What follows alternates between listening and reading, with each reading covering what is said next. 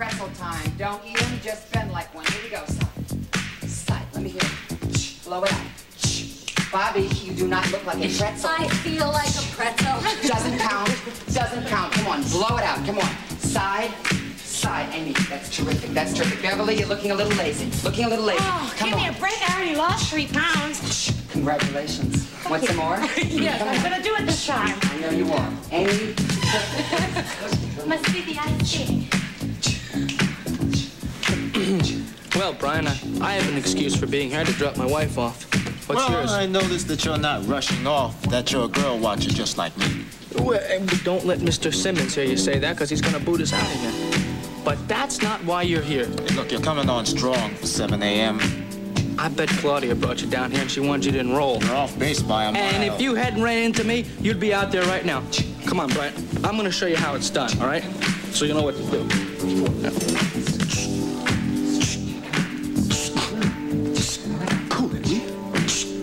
On, Joey. Reach higher. Reach Cool higher. Higher, higher than this? Absolutely. Reach for the sky instead of the pie. Come on. Do you think this stuff really works? Oh, it's the same as calisthenics in the army. Only difference in the army, there's no disco music and no girls in leotards. Yo, I could see, said drill sergeant in the army. Guys, reach for the pie in the sky or the sky in the pie. And if you don't, I'll kick you there.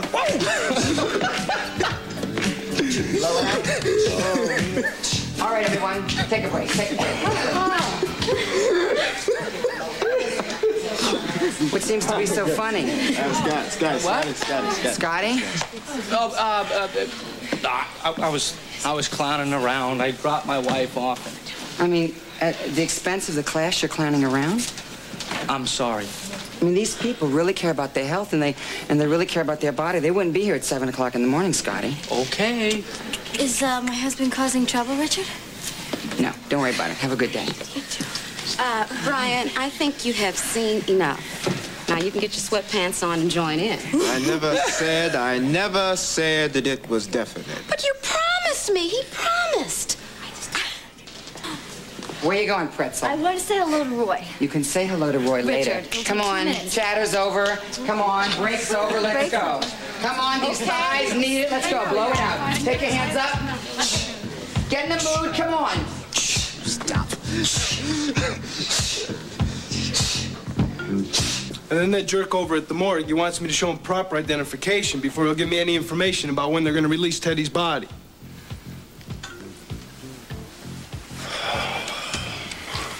So anyway, look, I'll go to Florida as soon as the body's ready and everything's cleared up. Officially, they say my cousin committed suicide. Do you believe that? Right. So who got to him? I don't know. Somebody got in that cell with Teddy for five minutes alone. Had to be somebody who was in jail or somebody who worked there, like a cop. No, it's got to be more than one person. Believe me, I know. It's got to be more than one person. I'm going to find out who. All right, now look, Roy, we got you. You, you got to keep your head and hang loose with it. Yeah, like Teddy hung loose, huh? I'm sorry. Well, somebody's going to pay for this. You believe me, somebody's going to pay. Okay, all I ask is we get the proof before we send the bill. Well, I could use a little proof of my own for my own protection, Luke. You know, I'm the one who has to get out there at the airport down in Florida, and I have to face all these people with all these questions. I don't have any answers.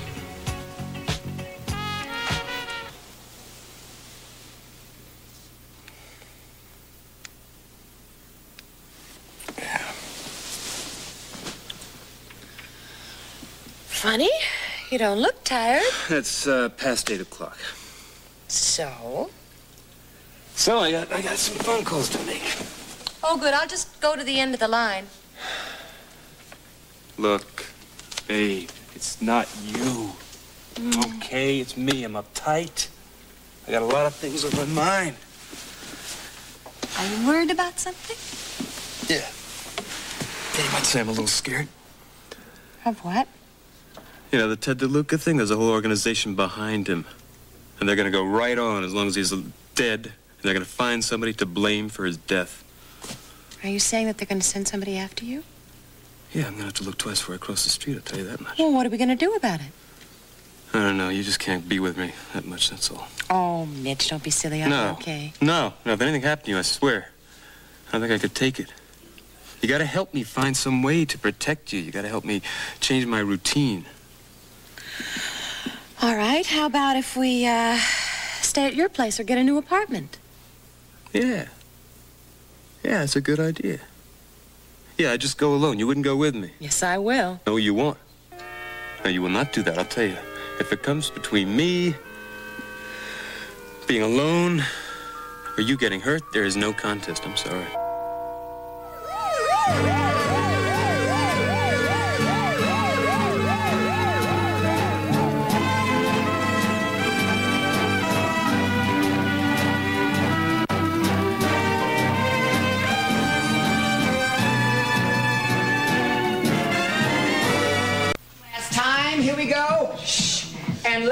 Ladies, thank you very much. Class is over. Oh, thank you. It's over. It's all over. I missed out. Oh. Well, are you sure you don't belong back home in bed? Are you kidding? I feel great. Except for your behavior. Hmm. Well, I, I think it was a bum rap. I mean, I wasn't making fun of. I wasn't like. I gotta get to work. And I gotta get back to class. Hey, you wanna leave your car parked here and slum along with me? Uh, no, thanks. You know, Brian actually enjoys life in the slow lane. Yeah, thus, by staying alive and enjoying life a little bit longer, I'll see you later. Oh, So long. Oh, bye. Bye.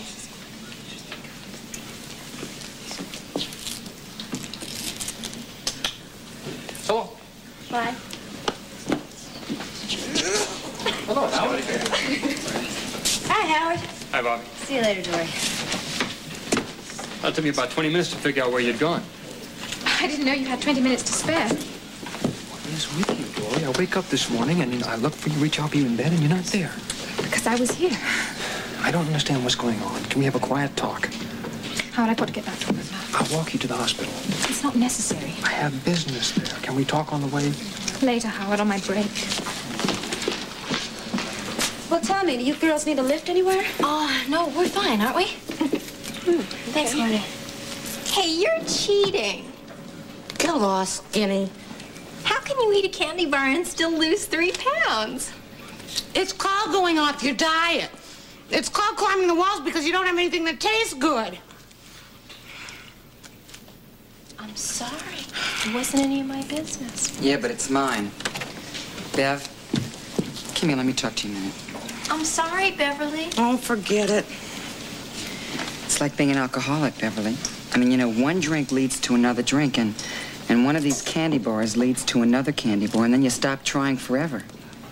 But I went on a high protein diet and I did lose three pounds. Beverly, how many diets have you been on? Oh, all of them. And did they work? Well, obviously not. Listen to me, I have an idea. Look at me. Go back to the doctor, the one that said you could come to this class.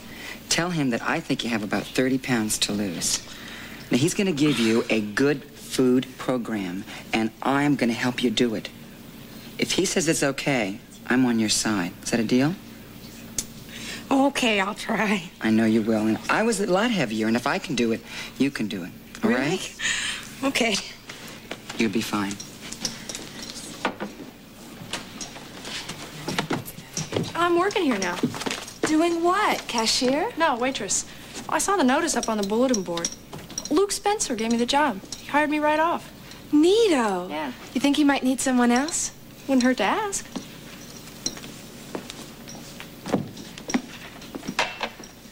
Hey, Claudia. Hey, did you hear that? Luke is hiring people. I want to be one of them. But don't you think it'll interfere in your social life? Who can have a social life without money? Are you kidding? Wait a minute. I'll be right back. What can I say, man? I. It was just a rotten way for Teddy to go. I'm sorry. Yeah, we were really close. I owe Teddy a lot. Yeah? Luke, hi. It's Laura Baldwin. Come in, Laura Baldwin. Hi. Hi, uh, you know Roy? Sure I do. Oh, listen, I'm very sorry to hear about your cousin. Oh, thank you. Is the exercise class over now? Yep, just now. Well, I think I will go chase down Barbarino. Uh, let me know before you leave town, will you? Yeah, we'll call him. So what can I do for you? Is it true that you're looking for help in the disco? Yeah? Then I'm applying. Look, I know I don't have very much experience at all, but I, I work very hard and I learn very quickly. Hold it. You're going a little too fast. You mean Laura Webber Baldwin wants to wait tables? Anything wrong with it? No. There's a lot right with it from where I'm standing. I'm, I'm sorry, Laura. I can't do that. But why? I just. I heard outside that you hired another girl from campus. She's of age. You aren't. You can't serve alcohol. Oh. But you serve food, though. Yeah. So? So I could do that at least until I'm 18, huh? Why not, Luke? I don't think your folks or your husband would go for it. Well, you couldn't be more wrong because Scotty and I had a very long talk about it. He really wants me to get a job because, well, we could use some money right now. Well, you sound like everybody else. I think I am like everybody else. Oh, I don't think so, no. I'm just surprised, that's all. I thought a young woman of your background would let her husband or her folks take care of her. I, isn't that how it works anymore? Well, Scotty and I do want to be independent. But you see, well, he's just starting out. It's a little difficult right now. He doesn't make that much. And you want to help out? Mm-hmm. Well, I admire that. Scotty's a lucky guy. Well, then it's okay. Then I get the job, huh? Can you start tonight at 8? I'll be here at 8 on the dot. Thank you, Luke. Uh, Thank you so okay, much. but uh, you now you're sure it's okay to work nights, huh? Oh, yeah. Well, Scotty works late almost every night in his father's office, so sure, it's perfect.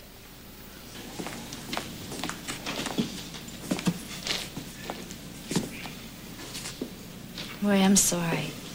I'm so sorry Ted had to die that way. Yeah. Uh, do you have a minute? Just one, I have to get back to work. I might not see you for a day or two, Bob. I guess it's gonna be pretty rough when you get to Florida, huh? Yeah, I think so. Be careful, okay? I was beginning to wonder if you still felt that way, hon.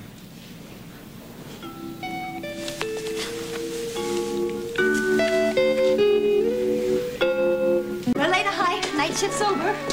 All right, we'll talk, but I just don't know when since I haven't seen the schedule. All right, I'll check with you later. Uh, Howard, I just left Steve in the cafeteria. He's very anxious to see you. All right, I'll go see him right away. Thank you. Dory, Morning, I'm not Dory. leaving this hospital Morning, until I talk to you.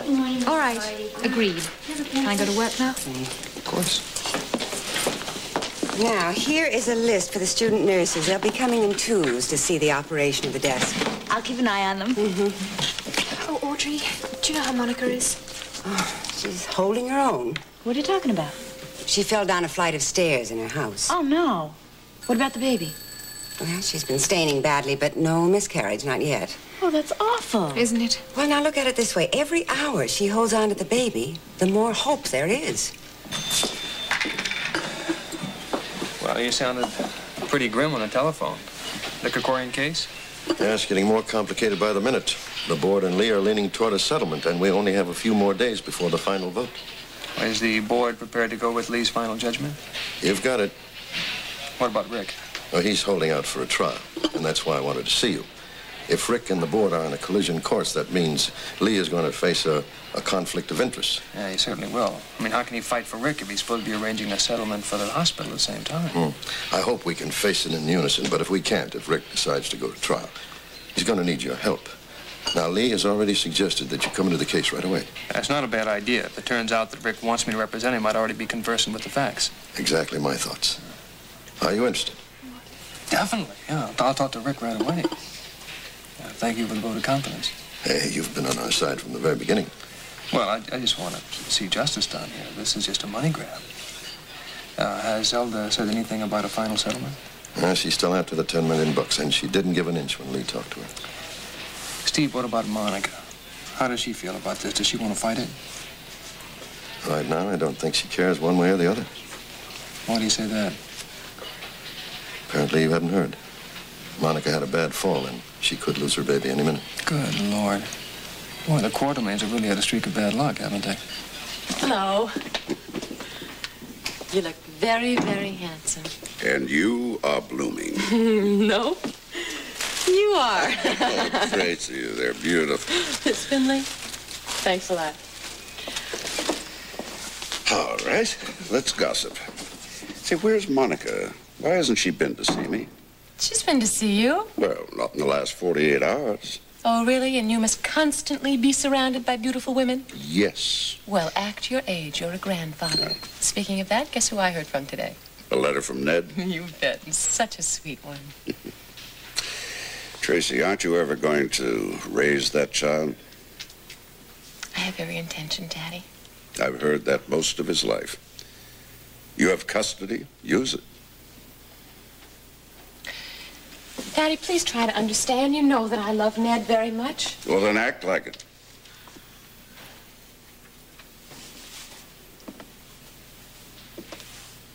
You know, I wouldn't say this to anyone but you. And if you tell anybody, I'll never speak to you again. Have I ever broken a confidence with you, Tracy? You're the only one who hasn't, Daddy.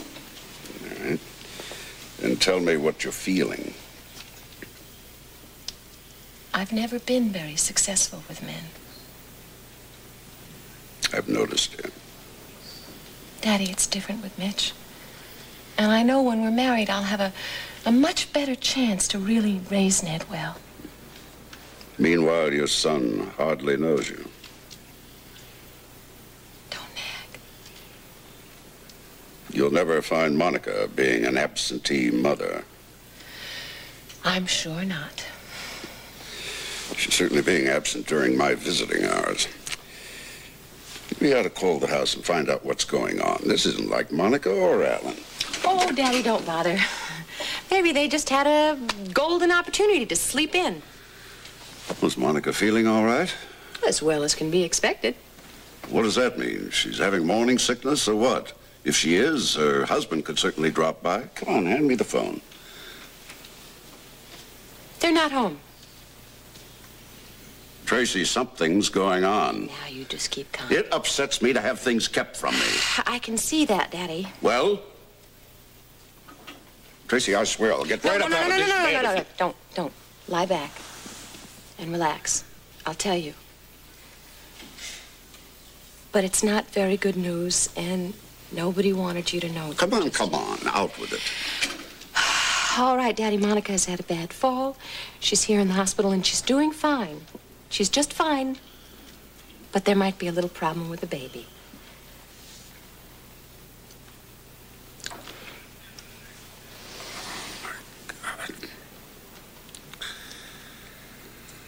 Oh, I feel so old.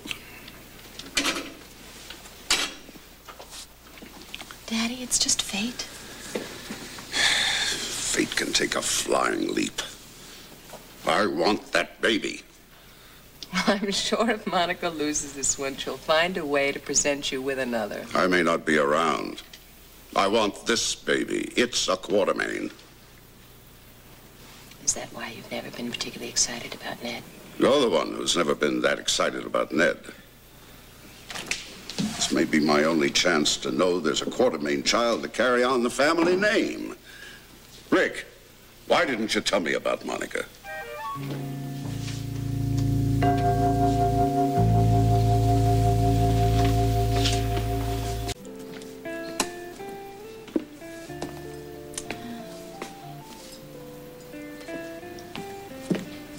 Won't be open for about five minutes, sir. Uh, or maybe never to you. Is the uh, bar off limits? That's up to the bartender. Why don't we have a talk? Would you like to sit down and just talk? What for? Just a friendly talk, that's all. Whenever you and I sit down and talk, I usually end up with a few bruises. Okay, you're safe for tonight. huh? Wrong. That's my problem. You see, I'm never interested in guys who are safe. So, of course, you're lying, and of course, I'll sit down and talk to you.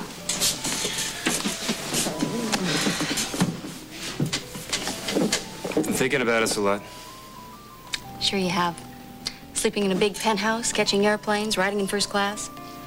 Did Tracy arrange for limousines on your last tour? Okay, You know, it's very possible for a guy to get lonely in a room full of 10 or 20 people. Okay, I have no excuse. I have no excuse for what I did. Except maybe I'm a coal miner's son and I did what I had to do, that's all. Oh, sure you did. Okay, I'm not proud of what I did, Well, that makes two of us. And I have feelings for you. I have deep feelings, and I am very sorry.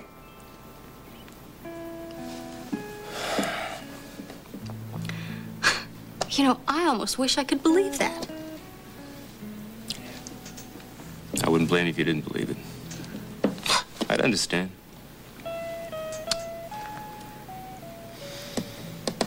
Wonder if I'll ever really know when to believe you. Is this really an attack of conscience you're having, Mitch? Well, Whatever it is, I'll tell you one thing, it hurts very much.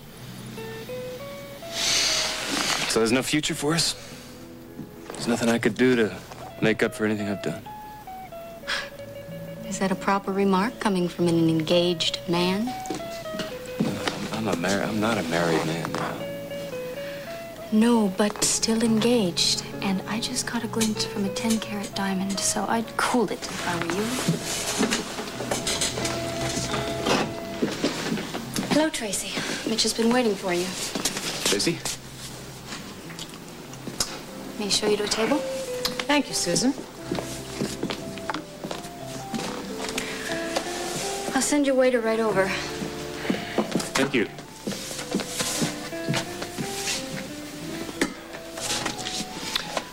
Said this morning you had to break your routine.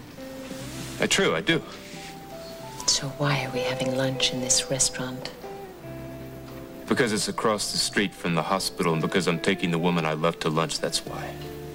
Well, if in fact you are sincere about breaking old habits, I strongly suggest that eating in this restaurant be one of them. You don't seem thrilled at the prospect of seeing me around more these days.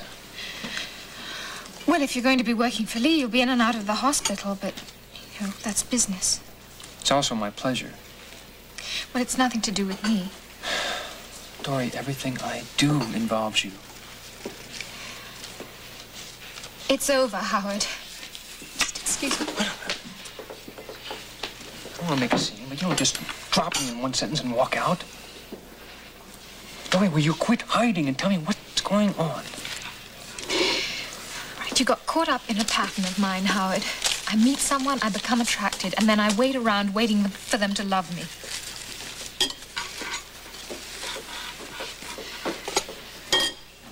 I thought we had an agreement. It's called no strings.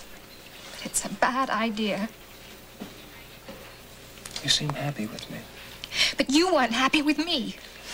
Are you accusing me of moving in with you and not caring about you? You're in love with Gina Lansing. Don't start that again. Dory, we have a good thing, and you're running it. You're in love with her, Howard, and I've done it again. I've fallen for someone who's not available. I have fallen so much in love with you. Hi, Dory. Oh, I wonder what happened. She looked upset. Sure did. Did you see Scotty anywhere? No. Uh, hi, Mr. Lansing. Hi, Laura. Uh, I think we're a little early. Why don't we just sit down? Okay.